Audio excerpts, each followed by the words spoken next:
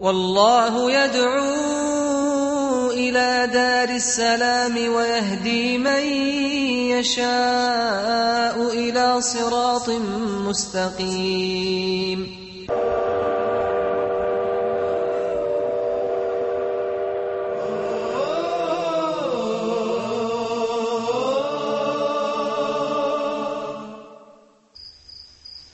Bismillah, Alhamdulillah. You're watching Lifting the Fog, and I'm your host, Yusuf Estes. For the next few minutes, we want to talk on the subject of removing and clearing up some of the misconceptions, misunderstandings, and misrepresentations about Islam and what Islam teaches.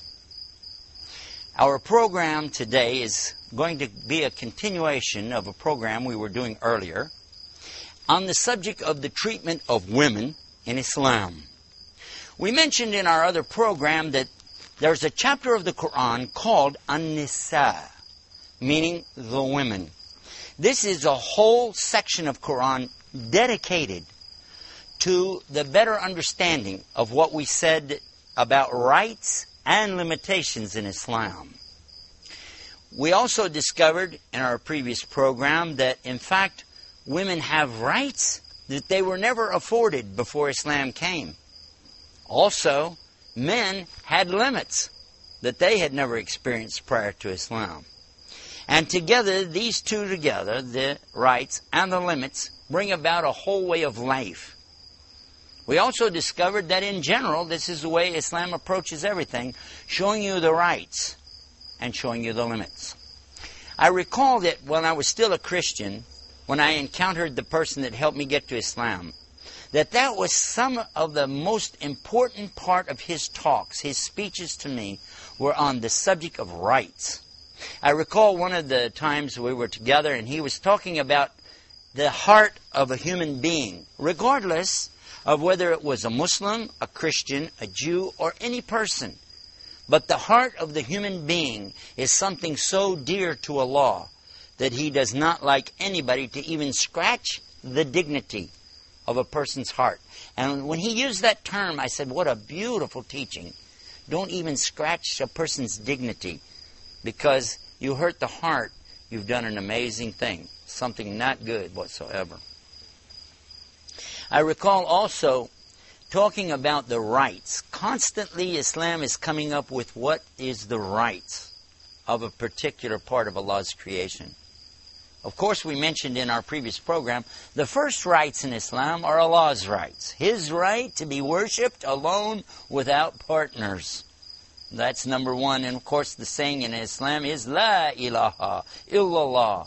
There is none that has the right to be worshipped. Only Allah. And all worship is only for Him. La sharika Allah. He has no partners. After that is the right of Muhammad to be regarded as a messenger and servant of Almighty God.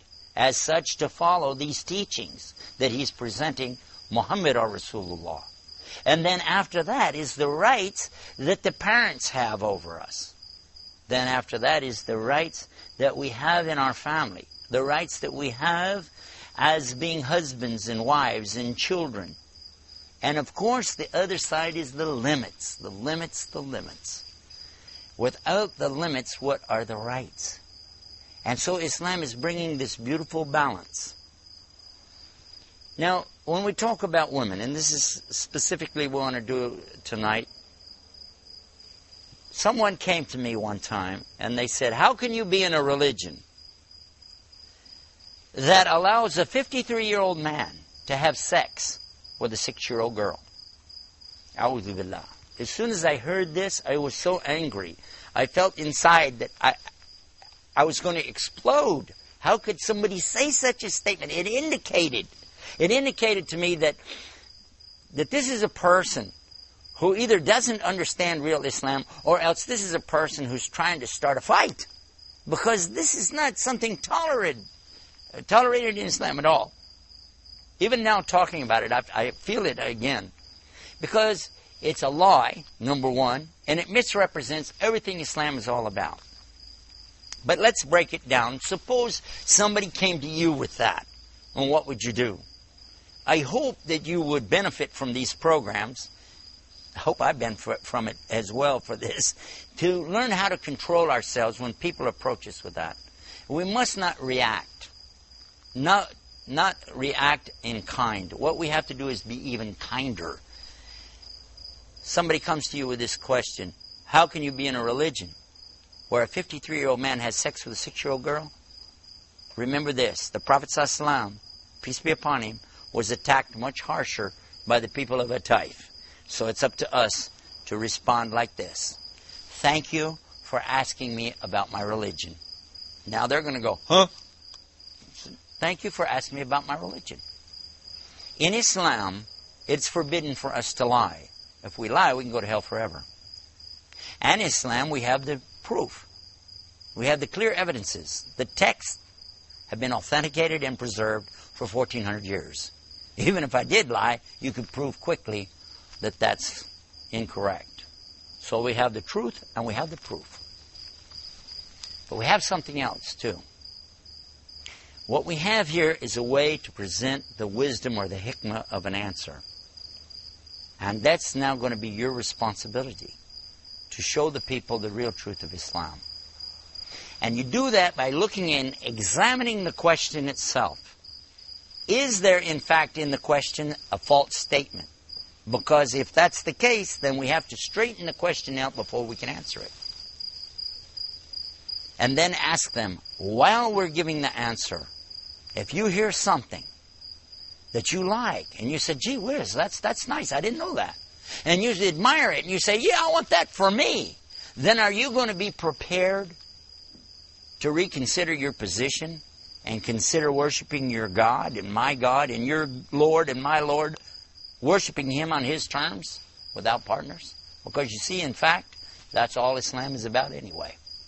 Worshiping God, doing what He wants you to do. But now let's come back to your question. You ask me about an age difference, 53 and 6, and you ask about specifically a verb, an action, which is sex. To have sex. I will share with you something that if the question contains a mistake in it, I can't answer it.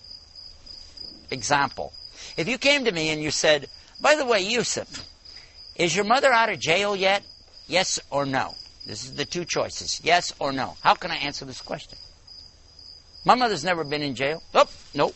Yes or no? Is she out of jail? Well, she's not in jail, therefore she's out of jail. Okay, my mother's out of jail. Good, I'm glad she got out. She never was in. So no matter how I answer this question, it's a trap. I can't answer a question like that because it has what? It has a lie in the question. So let's go back and look again. The verb, the act of sex. If somebody said, Does your religion permit a 53 year old man to have sex with a 6 year old girl? The answer is no.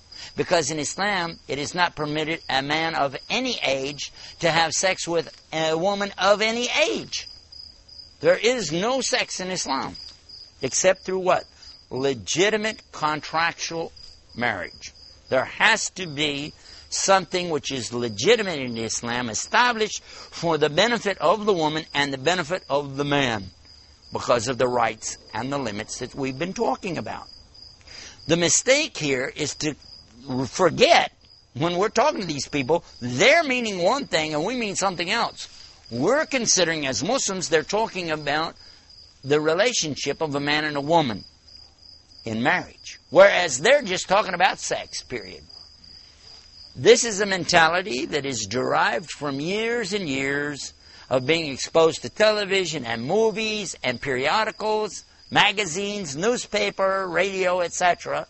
And these trash magazines at the checkout counter of the grocery store, sex, sex, sex. This is on their brain. It's not permitted in Islam. We don't have boyfriends and girlfriends. We don't have mistresses. We don't have these prostitutes, I'm sorry to say, but we don't have these kinds of things in Islam. This is not a part of Islam. It's all forbidden. What do we have? What we have in Islam is marriage, and that's it. If a man is married, it is forbidden for him to have a girlfriend or to have a mistress. Any of these kinds of things, or just what they call one night stand. All of these things are so forbidden in Islam, a man can be punished severely for such a thing as this. And of course, I have to tell you, the same is true for the woman. If the woman would engage in something outside of marriage, she likewise can be punished. It's in the Islamic law. Marriage is a sacred, sacred thing in Islam from the standpoint that once you enter into this contract, you don't break it. But it's the only way you're going to have a sexual relationship. When there is sex and there is a child, that child has rights. Right? The woman has rights, the man has rights, the child has rights, but it comes about through a contract, something that's signed up front that people understand what it's all about. So, the answer to the question is that doesn't exist in Islam. Now, I know what's going to happen. Mm-hmm. They're going to say, yeah, we're talking about the Prophet Muhammad, peace be upon him, and blah, blah, blah, and his relationship with one of his wives, and she was a little girl. Oh, hold it. Let's go back. It was a marriage. And let's go and look at the text itself. I told you in Islam we can prove what we're saying. We have the proof. Let's look. You're going to go to Sahih al-Bukhari, and you're going to pull up a statement in there in English translation talking about Aisha, and she's six years old. Okay. But did you know that that's not what it says? It doesn't say sex anywhere in there. And by the way, this is on her authority. She's the one narrating this. So before we go any further, I'm going to ask you, do you accept Aisha as being a truthful source of information? Because if you don't, there's no point in going any further. And if you are going to accept what she says, are you going to accept everything she says? Or just what you want to hear? Because she also said, La ilaha illallah. She also said there's no God to worship except Allah. Do you believe that? Are you going to accept that? Never mind. Let's just keep moving. She tells us in this authentic hadith, teaching or story in Islam, that she was outside playing She's playing in the dirt, having fun, and her mother, now listen to this, her mother comes to her and takes her inside. Who's inside? Inside is her father. And her father is talking to her father's best friend and distant cousin, which happens to be Muhammad sallallahu alaihi wasallam, peace be upon him. There is something being presented or offered here, which is marriage, the father is offering her hand in marriage to his best friend. But it didn't happen because she said, and read it for yourself, she went back outside and was playing in the dirt. Why didn't it happen? And what did really happen? And when did it happen? The answer to these questions and more are coming up in the next part of this program, the next segment. So be sure you stay tuned to hear the answers to this when we return with Lifting the Fog. We'll be right back after this.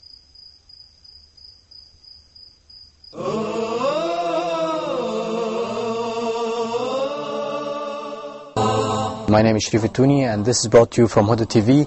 Um, in today's edition